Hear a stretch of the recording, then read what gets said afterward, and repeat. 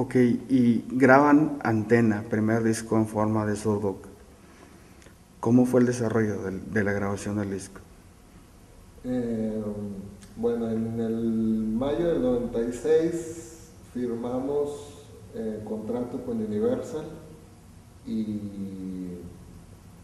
pues comienza la preparación para, el disco. Se define que, Jason Roberts va, va, a hacer la grabación del, disco y pues, fuimos a, Los Ángeles, nos, vamos a Los Ángeles a, grabarlo para nosotros pues una experiencia nueva y súper emocionante.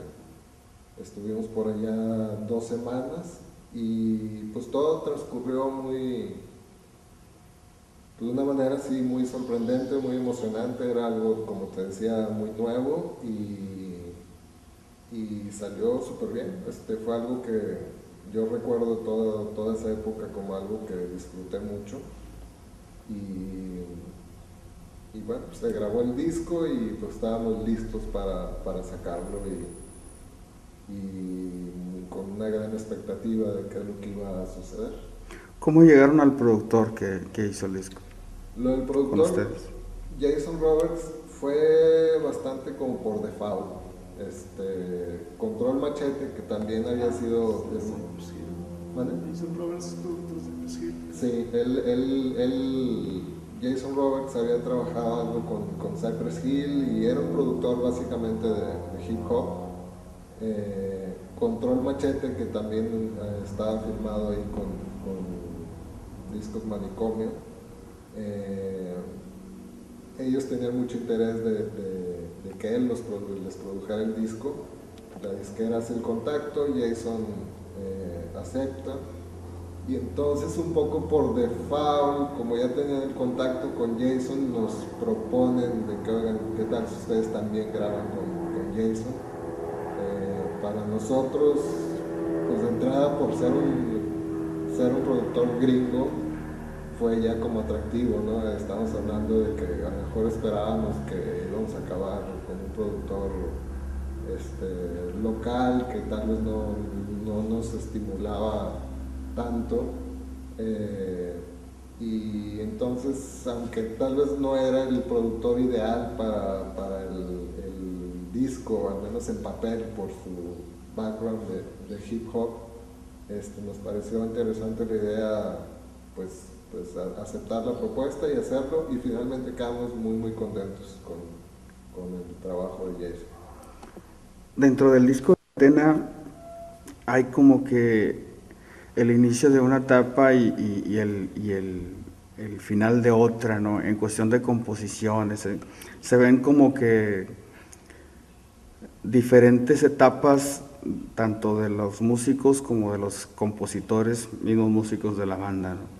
Sí, en Antena se mezcla la primera etapa de, de es decir, el, el más de, de riffs de guitarra y más pesado, con la evolución que está tomando la banda hacia música más melódica.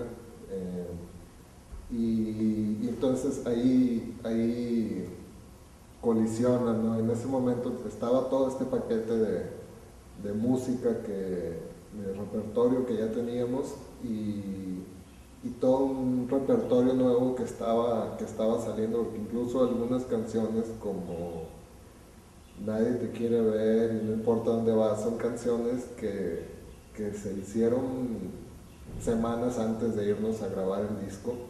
Este, entonces, eh, lo que se intentó fue no tirar a la basura todo el repertorio, eh, vamos a decir, más viejito, este, sino rescatar de ahí lo más representativo, y, pero también incluir algo de lo que de la evolución que estaba tomando la banda.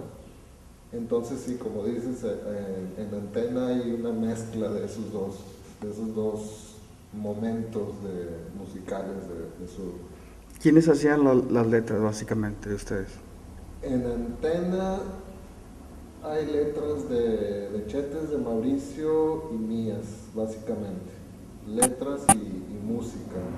Eh, En ese tiempo la banda todavía trabajábamos mucho en un esquema de, de colaboración en el que todos, todos aportábamos algo o intentábamos estar aportando cosas a las canciones.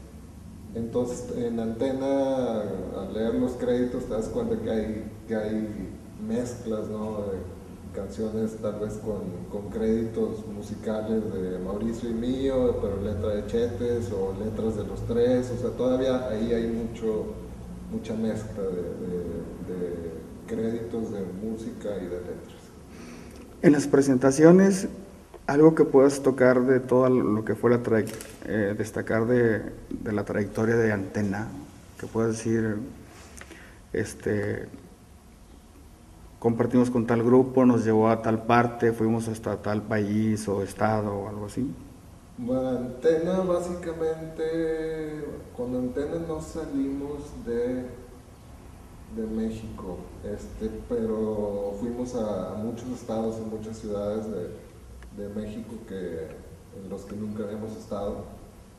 Este, presentaciones, pues hubo, hubo muchas, este, o sea, creo que fue como el disco que, que introdujo a, la banda al, mercado mexicano y, pues nos llevó a tocar a muchos lados. Un disco, Antena sale en el 97,